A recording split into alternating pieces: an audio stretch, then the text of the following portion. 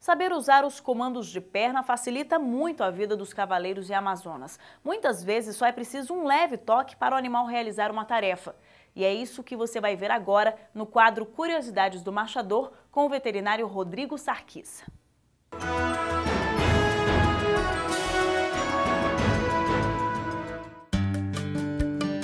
Estamos no Aras 8 Virtudes com o nosso amigo Barão V8 e o Hernandes, cavaleiro responsável por ele, vai mostrar para vocês a importância do uso das pernas na equitação.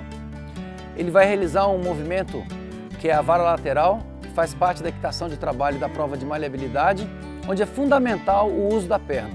A perna faz com que o cavalo ceda o seu tronco no movimento lateral.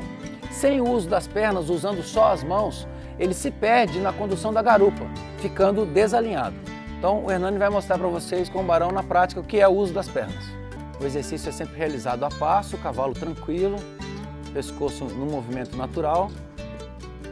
Ele se aproxima a passo da vara.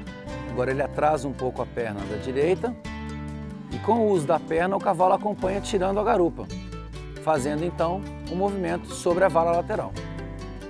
Usando a perna direita, ele vai para o sentido da esquerda. Agora ele vai trocar o uso da perna, usando a perna esquerda, e o barão segue para a direita. Sem o uso da perna seria impossível a realização com harmonia e sem violência nesse movimento.